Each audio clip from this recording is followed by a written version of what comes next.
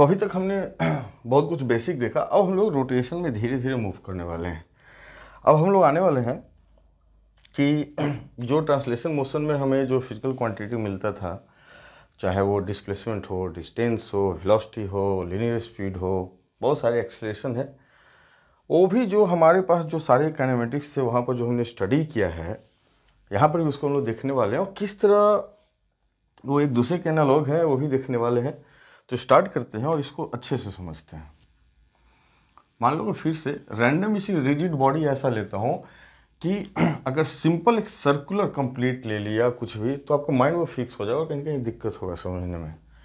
तो सपोज़ करो कि हमारा इस पॉइंट के अबाउट ये मूव कर रहा है। ठीक है?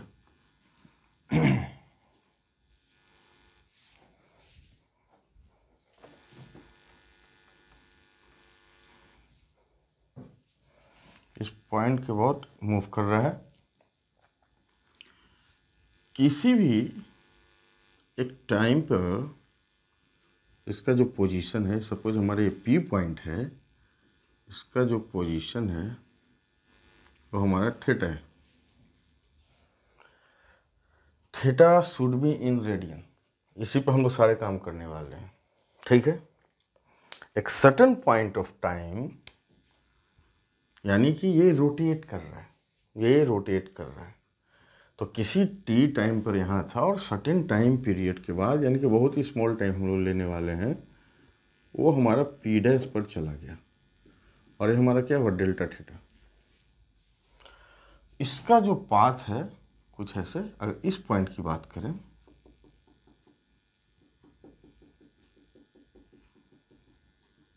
ऐसा कुछ सर्कुलर होगा। अब यहाँ से इम्पोर्टेंट बात ये समझने वाला है कि इस रिजिड बॉडी के किसी भी पॉइंट किसी भी पार्टिकल का आप लोगे अगर मूवमेंट एंगुलर पोजीशन तो अगर इसका ठेटा हुआ है सपोज़ हम लोग बोले कि इसका क्या पोजीशन था? पहले कहीं था सपोज़ पोजीशन और टी टाइम में ठेटा आया तो इसका भी लोग पोजिशन ठेटा से चेंज हुआ होगा। अगर डेल्टा टी टाइम में डेल्टा थीटा थीटा यहाँ पर हुआ है तो ये भी कहीं ना कहीं कुछ देर बाद डेल्टा थीटा से ही चेंज हुआ होगा। तो वहाँ पर जैसे लिनियर जो मोशन था ट्रांसलेशन था, उसमें एक्स को हम लोग समझते थे। समझो आप? यहाँ पर थीटा उसी तरह बिहेव कर रहा है। यानी हर एक पार्टिकल का जो एंगुलर पोजीशन है सिमिलरली चेंज हो रहा है। ठीक है? अभी के केस में जो प्योर हम लोग इसको रोटेशन कर रहे हैं ट्रांसलेशन नहीं है, एक एक्सिस के अबाउट ये रोटेट कर रहा है। समझ में आया बात? यहाँ पर लिख दूँ मैं कि theta and delta theta are in radian ये जो हमारा कर्व पार्ट है, यानी distance P to P dash that is delta S अब हमें पता है एक बात कि डेल्टा एस क्या होता है? Radius time angle in radian ध्यान आया? अभी हमने डिस्कस किया था। ये हमारा रेडियन में होना चाहिए। अगर हम लोग ये डेल्टा टी टाइम में मूव किया है तो हमारा जो एवरेज लीनियर स्पीड है delta S by delta T ये क्या है? ये जो कर्व पार्ट है, वो तो डिस्टेंस है। तो हमारा जो एवरेज लीनियर जो हुआ, ये हमारा क्या हुआ? Delta theta upon delta T अगर इसको, और ये हमारा क्या हुआ? Average angular position rate of change of average angular position यहाँ क्या है? Rate of change of linear linear distance हमने पहले एक चीज़ को देखा था कि अगर हम लोग लिमिट यहाँ पर लगा हैं क्यों लगा रहे हैं कि टाइम जितने स्मॉल होगा, हम लोग इंस्टेंटेनियस यानी एक ऑलमोस्ट अबाउट एक पर्टिकुलर पॉइंट की बात कर सकते हैं कि इस पर्टिकुलर टाइम या इस पर्टिकुलर पॉइंट पर इसका फ़िज़िकल पैरामीटर क्या होगा, जो भी देखने वाले थे। तो डेल्टा एस क्या है? डिस्टेंस तो ये हमारा क्या हो गया? D S by D T ये कैलकुलेशन आपने देखा है। आर यहाँ से अगर हम लोग बोल दें सॉरी अभी फ़िलहाल मैं इसको ऐसा ही लिखता हूँ। आर लिमिट अभी मैं लिख रहा हूँ, आगे चल के ये सब नहीं लिखेंगे हम लोग फटाफट चलेंगे, ठीक है? आपको भी समझ में आ जाएगा। Delta theta by delta T. आपने बहुत बार देखा, ये क्या है basically D S by D T R D theta by D T ये क्या है? रेट ऑफ़ डेरिवेटिव है। डेरिवेटिव्स क्या बता रहा है? Rate of change of linear linear distance तो ये हमारा क्या आया वी लीनियर स्पीड है। कंफ्यूज नहीं होना है। दिस इज़ लीनियर स्पीड क्योंकि डेल्टा क्या था? कर्व का पार्ट था। ध्यान रखना इस चीज़ को। और कभी कभी इसको लोग वी भी बोलते हैं। टेंजेंशियल वेलोसिटी वेलोसिटी बोल देते हैं, ठीक है ना? डायरेक्शन तो इसका टेंजेंशियल होगा, लेकिन बेसिकली ये कर्व पार्ट पर इसका किसी पॉइंट पर स्पीड की बात कर रहे हैं। And this is R D theta by D T अभी एक नया टर्म आपको देखने को मिला, जो इसको, जो पहले आपने देखा होगा, इसको बोलते हैं ओमेगा ये बेसिकली क्या है कि rate of change of angular position यानी कि डेल्टा थीटा डेल्टा टी में चेंज हो गया। तो यानी कि हम लोग टाइम को इतने स्मॉल कर दिए कि very precisely small infinitely small time के लिए क्या किस रेट से ये एंगुलर पोजीशन इसका चेंज हो रहा होगा, वो हमें क्या मिलता है? एंगुलर स्पीड ये क्या है? एंगुलर स्पीड तो अभी हम लोग जो भी बात कर रहे हैं दिस इज़ एंगुलर स्पीड हमें रिलेशन एक मिला कि एंगुलर इसे स्पीड कहते हैं। आगे चल के आपको एक बहुत ही इंटरेस्टिंग रिज़ल्ट मिलेगा। कि अगर इसको हम लोग वेक्टोरियल फॉर्म में देखना चाहें सपोज़ इस सारे रीडिंग में हम लोग बात कर रहे हैं। अगर हम लोग विक्टोरियल फॉर्म में देखना चाहें, क्योंकि अब यहाँ पर बहुत ही इंटरेस्टिंग क्वेश्चन ये होने वाला है। आपको एक चीज़ दिखाता हूँ। यानी कहीं ना कहीं सर्कुलर पाथ है तो मैं आपको थोड़ा सा इसको ईजिली ऐसा दिखाने की कोशिश कर रहा हूँ कि ये जो एक पॉइंट पी है, यहाँ पर, और ये हमारा पी यहाँ नहीं था। चलो, आपके कन्विंस के जो था वही दिखाता हूँ। ये पी है, और यहाँ से पी डैश हो गया, ठीक है? ये हमारा थीटा था, ये डेल्टा थीटा हो गया, ये डेल्टा ए से। अब ये एक ऐसा पैरामीटर है कि इस केस में इस बॉडी के हर एक पार्टिकल का जो एंगुलर स्पीड है, वो कांस्टेंट है। बात समझो आप? चाहे ये पॉइंट यहाँ लो आप, या पॉइंट यहाँ लो, एक्सेप्ट एक्सिस की बात करें। एक्सिस से नॉट मूव है। एक्सिस के नियरेस्ट जहाँ भी लोगे अगर उसके बात करोगे कि एंगुलर स्पीड क्या है तो सबका कांस्टेंट है। क्या है? कांस्टेंट है। रीजन आप समझो कि जब ये मूव किया तो जो भी मूव कर रहा है सपोज़ ऐसे मूव किया, ये थेटा से मूव किया तो हर एक पार्टिकल थेटा से किया ना? ये अगर टू थेटा से मूव किया तो हर एक पार्टिकल इसका टू थेटा से मूव किया सेम टाइम में। तो रेट ऑफ़ चेंज हमारा क्या है? वही तो जितना एंगुलर पोजीशन चेंज हुआ, और टाइम तो सबके लिए वही लग रहा है तो रिज़ल्ट तो सबके लिए सेम ही है।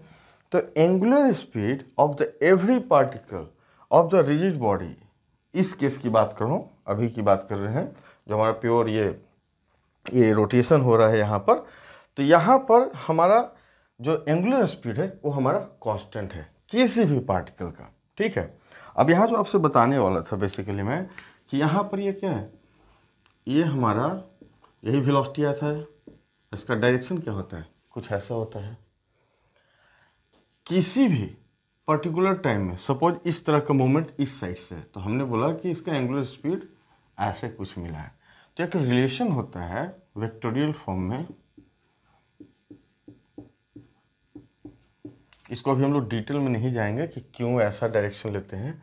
ये बस बताना चाह रहा हूँ कि अगर एंटी क्लॉकवाइज है, यहाँ पर देखो, अगर वी है तो एंटी क्लॉक अगर है ओमेगा यानी एंगुलर वेलोसिटी अगर एंटी क्लॉक है तो हमारा क्या होगा? पॉजिटिव एंटी क्लॉक वाइज है। किसकी बात करो? ओमेगा यानी वो पॉजिटिव है। क्लॉक वाइज है तो हमारा क्या होगा? निगेटिव अब देखो यहाँ से। अब ये कैसे होगा पॉजिटिव निगेटिव डिसाइड करेंगे? एंटी क्लॉक हुआ। एंटी क्लॉक यानी कि बाहर की तरफ़ आ रहा है। तो अभी के केस में हमारा ऐसे है। यानी कुछ एक ऐसे है, ओमेगा का जो डायरेक्शन है, कुछ ऐसे है, ऐसे अब समझो कि ऐसे एक वेक्टर है और आपका एक वेक्टर ऐसे है।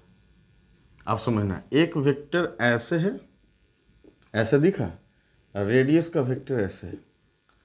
तो omega cross R omega cross R भी मिल रहा है सर देखो तो।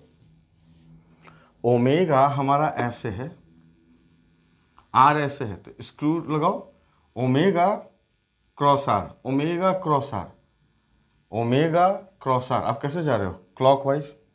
Omega R omega R, omega cross R. तो भी निकला। यही तो टेंजेंशियल वेलोसिटी होता है। तो वेक्टोरियल फॉर्म में जो हम लोग रिलेशन लिखते हैं किसी भी टेंजेंशियल जो टेंजेंशियल जो वेलोसिटी है, वो ओमेगा क्रॉस आर होता है। और किसी भी पार्टिकल का जो ये रोटेशन हो रहा है एंगुलर स्पीड की जो बात कर रहे हैं, वो हमेशा सेम होता है। अब एक बात और इम्पोर्टेंट यहाँ समझने वाली है कि ये जो v है, ये v सबका चेंज करने वाला है। यानी कि किस पर डिपेंड करता है? R पर।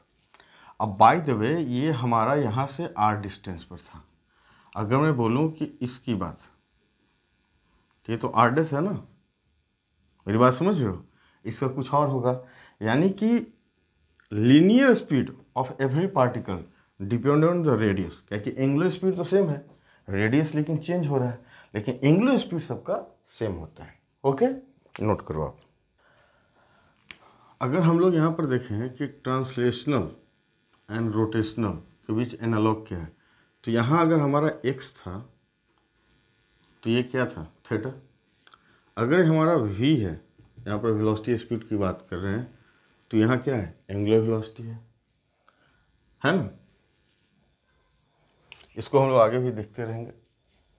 अब हम लोग थोड़ा और इसमें आगे देखते हैं।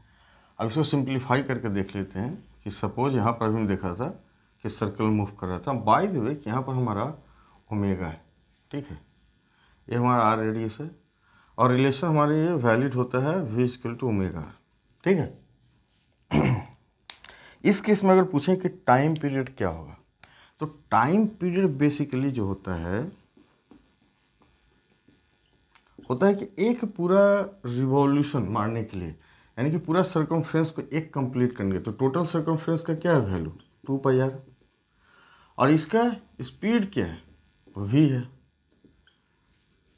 इतना ही टाइम लगता है। अब देखो तो आर अपॉन वी क्या है? यानी कि टाइम पीरियड हमारा टू पाई वाई ओमेगा ये भी एक रिलेशन हो सकता है, या time is equal to two pi R by भी यानी कि एक कंप्लीट रेवोल्यूशन करने में कितना समय लगता है? अगर इसी को हम लोग फ्रीक्वेंसी की बात करें तो फ्रीक्वेंसी मीन्स होता है कि एक यूनिट टाइम में कितने बार रिवॉल्व कर जाता है। सपोज़ ये वन बाई सिक्स सेकेंड में पूरा एक रेवोल्यूशन मार दिया। तो एक सेकेंड में कितना होगा? छः बार। तो टाइम जो होता है, जो फ्रीक्वेंसी की हम लोग बात करते हैं, वो होता है one upon time period one upon time period में क्या हुआ? ओमेगा अपॉन टू पाई यानी फ्रीक्वेंसी होता है ओमेगा अपॉन टू पाई। यानी कि टाइम पीरियड को हम लोग बोल सकते हैं ऐसा। Time taken in one revolution. और फ्रीक्वेंसी होता है number of revolutions revolution in unit time एक और चीज़। ओमेगा का जो यूनिट हम लोग यूजली जो देखते हैं, वो होता है रेडियन पर सेकंड क्यों ऐसा बोल रहे हैं? कि थेटा क्या था? रेडियन में हम लोग लिए थे। और टाइम जो हमारा सेकंड में है तो इसका जो यूनिट की बात करें, ये होता है। रेडियन का कोई डायमेंशन नहीं होता है। अभी देखा था ना? Pi upon one eighty degree something जो था एंगल पाई एक रेडियन जो एक नंबर होता है पाई और दोनों डिग्री आपस में कैंसिल होगा तो इसका कोई डायमेंशन नहीं होता है। पहले आपने देखा होगा, लेकिन जस्ट मैंने आपसे मेंशन कर दिया। ठीक है, इसको आप नोट करो। हमने भी देखा कि V equal to omega R अगर इसका डेरिवेटिव हम लोग लें क्या होगा डेरिवेटिव लें तो D V by D T tendency मैंने छोड़ दिया है, ठीक है? माइंड में रखना। R D omega by D T D V by D T R ये क्या? Rate of change of angular speed जैसा rate of change of linear speed is रे क्या था? लीनियर एक्सीलरेशन हम यहाँ पर देख रहे हैं। तो ये भी हमारा क्या हो गया? इसको बोलते हैं rate of change of angular speed is the angular acceleration यानी कि अल्फ़ा इज़ एंगुलर एक्सीलरेशन तो यहाँ पर हमें रिलेशन निकाया ए टी यानी कि v, यानी स्पीड का जो चेंजिंग हो रहा था यहाँ इन लोग क्या बना है? यहाँ एक्सलरेशन यहाँ हमारा एंगुलर एक्सलरेशन समझ में आया चीज़ों को? नोट करो इसको।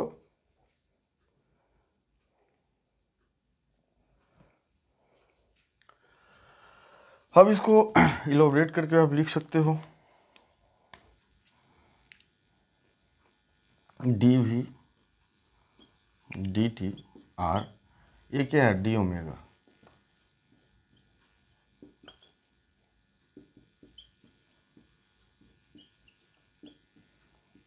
double derivative of angular position single derivative of angular speed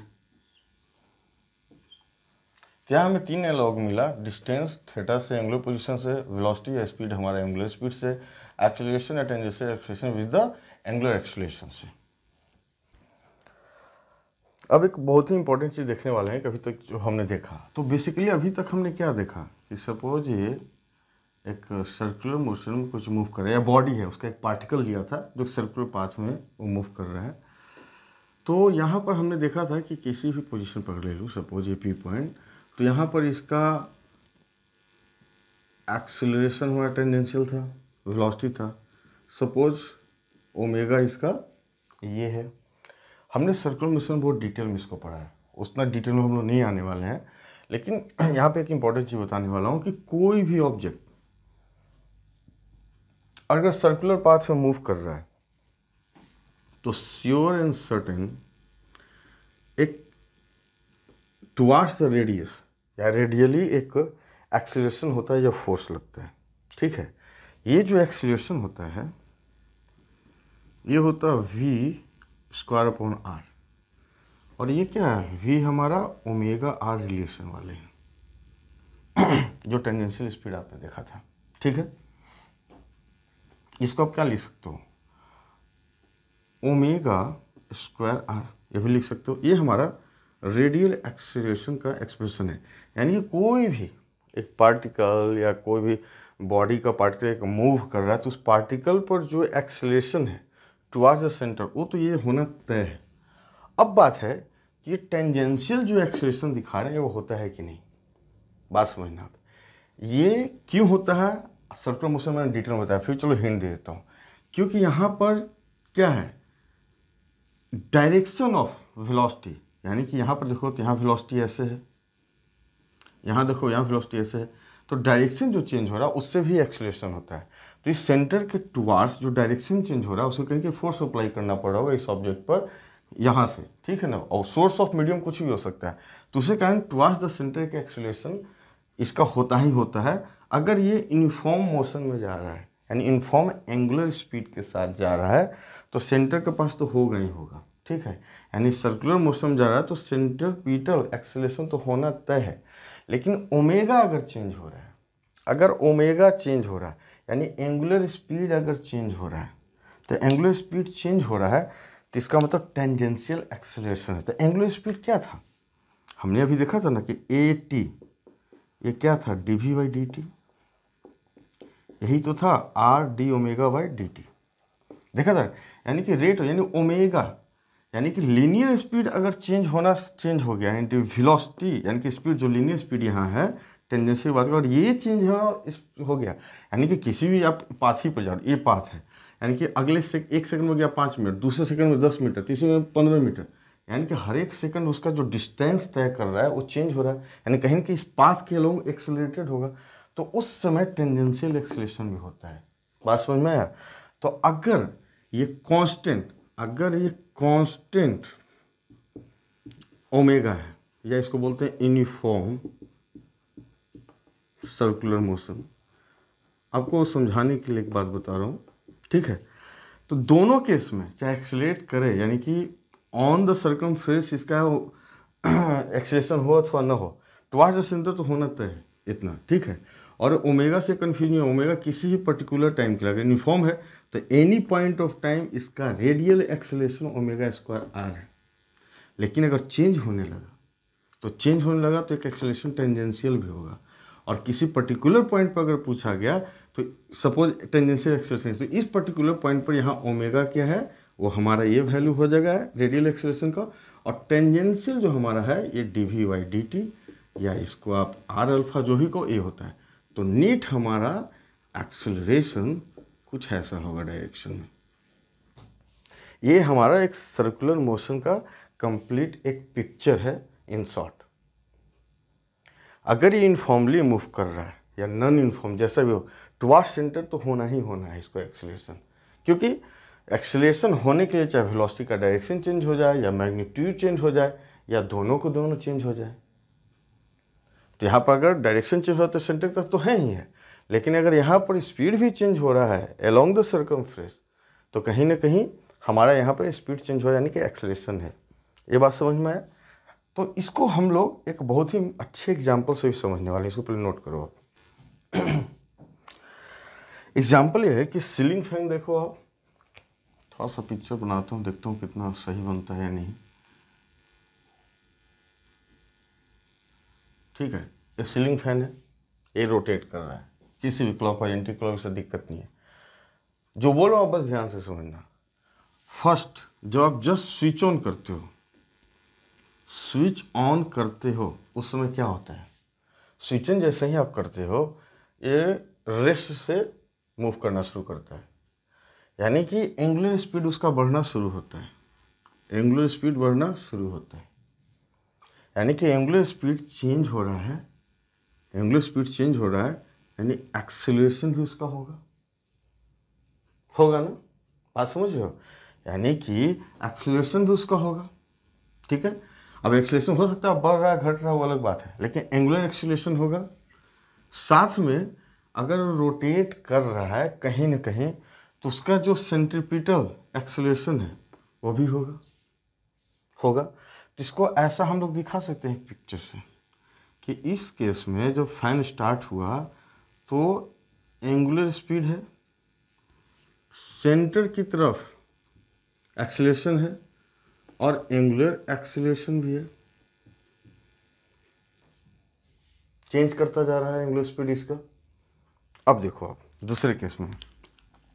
अभी चलता गया चलता गया चलता गया। एक सर्टन टाइम आता है, उसके बाद फुल स्पीड में आ जाता है। ये पंखा जो फ़ैन है फुल स्पीड में आ जाता है। अब फुल स्पीड का मतलब क्या हुआ कि एंगुलर उसका जो स्पीड है एंगुलर वेलोसिटी फिक्स हो गया। अब उसके बाद तेज़ नहीं होता। आप देख लो फुल आपने कर दिया कोई सडन सेकंड के बाद दस पंद्रह सेकंड वो फुल स्पीड हो जाता है। यानी हमारा ये अब क्या हो गया है? कांस्टेंट हो गया है। यानी एंगुलर एक्सलेशन अब हमारा नहीं है। एंगुलर एक्सलेशन मतलब नहीं है मतलब कि एटी नहीं है। है ना? टेंजेंशियल था। टेंशियल इसी पर डिपेंड करता है। यानी एंगुलर हमारा एक्सलेशन अब नहीं हो रहा है। लेकिन ए आर तो होगा, क्योंकि ये मूव कर रहा है सर्कल में तो टुवार्ड सेंटर तो होगा। तो यानी इस केस में सपोज़ हमारा अब ओमेगा वन से मूव कर ताकि वो कन्फ्यूज़न हो। लेकिन टुवार्ड सेंटर ए आर तो होगा ही। एंगुलर एक्सलेशन नहीं होगा ए टी नहीं होगा। वो स्पीड ऑफ़ चेंज नहीं कर रहा है, अलग बात है। लेकिन एंगुलर एक्सप्रेशन तो होगा ही। अब देखो तीसरा केस अब आपने स्विच ऑफ़ कर दिया। स्विच ऑफ़ किया तो क्या होगा? एंगुलर वेलोसिटी अब धीरे धीरे डिक्रीज कर रहा है। डिक्रीज कर रहा है। एंगुलर एक्सीलरेशन यानी वो रिटार्डेशन बन गया एंगुलर स्पीड कब डिक्रीज होगा? जब एंगुलर एक्सीलरेशन उस पर लगेगा डिसलेशन लगेगा। यानी कि अल्फ़ा या इसको आप ए टी हमारा डिसलेट कर रहा है। माइनस बोरो डिसलेट कर रहा है। ओमेगा को डिसलेट कर रहा होगा। और ए आर तो लगना है ही, क्योंकि सर्कुलर मोशन में है। तो इस केस में अगर आपको बोलूँ मैं, कि अगर ओमेगा टू ऐसा है तो टुवार्ड सेंटर तो लग ही रहा है। लेकिन ये डिसलेट कर रहा है ए टी या इसको आप एंग्लो एक्सलेशन जो भी आप बोलो। अब आपको समझ में आया कि कैसे रेडियल एक्सलेशन और टेंजेंशियल एक्सलेशन या एंग्लो एक्सलेशन वर्क करता है। जो भी आपको बोला हूँ, आप एक और ढंग से फिर से दोबारा सुनना नहीं समझ में आया। आप एक बेहतरीन एग्ज़ाम्पल है डे टू डे लाइफ का, जहाँ आप से समझ सकते हो कि किसी भी चीज़ का एंगुलर एक्सलेशन कैसे बढ़ता है, घटता कैसे है, उस केस में रेडियल एक्सलेशन देखो रेडियल एक्सलेशन सब केस में लेकिन जब ये कंप्लीट इन्फॉर्म हो गया, ये इन्फॉर्म हो गया ना, अब ये फुल स्पीड में आ गया तो ये इन्फॉर्म हो गया। अब यहाँ टेंजेंशियल नहीं है ज़ीरो हो गया। यहाँ पर हमारा टेंजेंशियल है ही नहीं। यानी एंगुलर एक्सलेशन है नहीं ज़ीरो हो गया। बात समझ में आ रही है? यानी एक सर्टेन ही एंगुलर स्पीड से वो मूव किया जा रहा किया जा रहा है। यानी इसका स्पीड चेंज ही नहीं हो रहा है लीनियर स्पीड और यहाँ पर देखो, ये बढ़ने लगा। तो ये एग्ज़ाम्पल बेहतरीन है समझने के लिए। आप इसे नोट करो। अब एक इंटरेस्टिंग चीज़ यहाँ और बताने वाला हूँ आपको। अभी तक हमने एनालॉग देखा। यहाँ पर एक रिलेशन आपको मिलेगा। आपने देखा होगा X is equal to U T plus half A T square यहाँ पर आप देखोगे theta is equal to initial angular speed है प्लस हाफ़ एंगुलर एक्सलेशन ये। अगर इसको हम लोग ऐसा बोलें, v is equal to U initial speed आपने देखा होगा ए टी यहाँ हम लोग बोल सकते हैं omega is equal to omega naught plus alpha T अगर यहाँ पर हम बोले V square is equal to U square plus two A X यहाँ हम लोग बोल सकते हैं omega square is equal to omega naught square plus two alpha theta